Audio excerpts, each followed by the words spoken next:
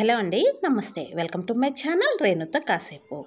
ఈరోజు Sunday special recipe very simple చేపల పులుసు. జస్ట్ ఒక సింపుల్ మసాలాతోటి చాలా టేస్టీగా ఉంటుంది. నిజం చెప్పాలంటే ఇది పాతకాలం మా అమ్మమ్మ నాటి చేపల పులుసు. నేను అప్పుడప్పుడు ఇదే ఫాలో అవుతుంటా. చాలా టేస్టీగా ఉంటుంది. మరి వెంటనే ప్రాసెస్లోకి వెళ్ళిపోదామా? ఇవి ఒక కిలో చేప ముక్కలండి. గండి చేప అంటారు కదా అది. మాకు నెల్లూరులో చేపలు మాత్రం చాలా ఫ్రెష్గా దొరుకుతాయండి. సోమశిల డ్యామ్ చేపలు వస్తాయి. చాలా టేస్టీగా ఉంటాయి.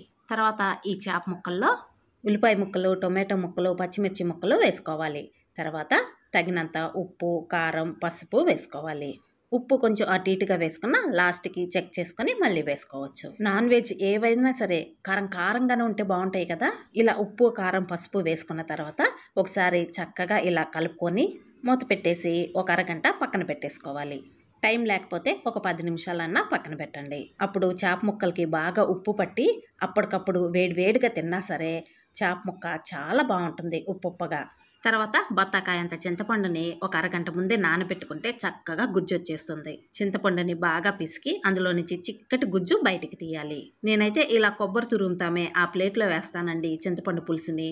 చింతపండు తొక్క కింద పడకుండా చక్కగా చిక్కటి పులుసు వస్తుంది. ఇలా ఫస్ట్ టైం తీసిన గుజ్జు వేసేసుకున్న తర్వాత మరొకసారి కొద్దిగా నీళ్ళు వేసుకొని మళ్ళీ గుజ్జు తీసుకొని అవి కూడా వేసేసుకోవాలి. పులుసు ఎప్పుడు చిక్కగానే తీసుకోవాలి. నీళ్ళ నీళ్ళగా తీసుకుంటే మాత్రం చేపల పులుసు కూడా నీళ్ళ నీళ్ళగానే ఉంటుంది. చేపల పులుసు ఎప్పుడైనా తేనెలాగా చిక్కగా ఉంటే చాలా రుచిగా ఉంటుంది. దీన్ని చక్కగా కలిపేసుకోవాలి. అన్నట్టు చింతపండు పులుసుని డైరెక్ట్గా చేప ముక్కల్లో వేసేసుకోవచ్చు.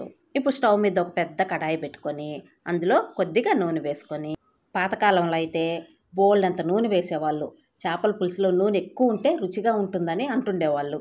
ఇప్పుడు కాలం మారింది కదా మనం అంతంత నూనెలు తినకూడదు. వాళ్ళు చేసే పనులకి అప్పుడు వాళ్ళు ఎంత నూనె తిన్నా అరిగిపోయేది.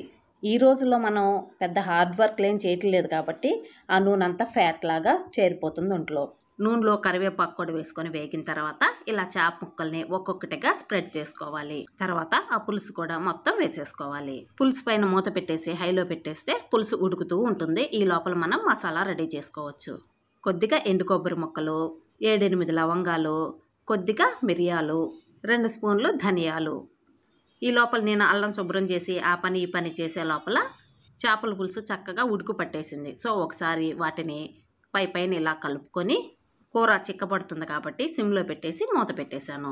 ఇప్పుడు ఈ మసాలాలో కొద్దిగా చెక్క కూడా వేసి దీన్ని ఒకసారి మెత్తగా గ్రైండ్ చేసుకోవాలి.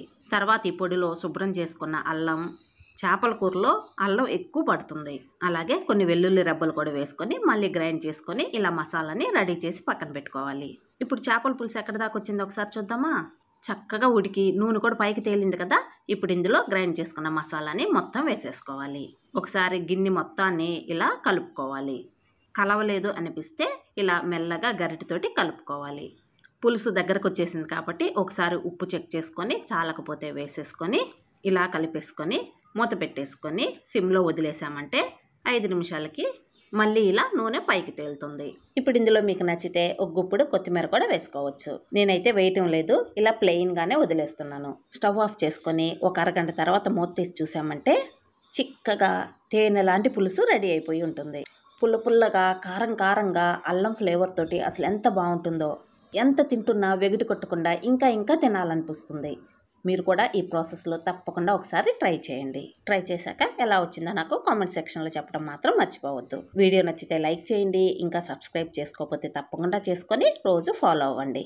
Thank you for watching. Eat healthy stay healthy.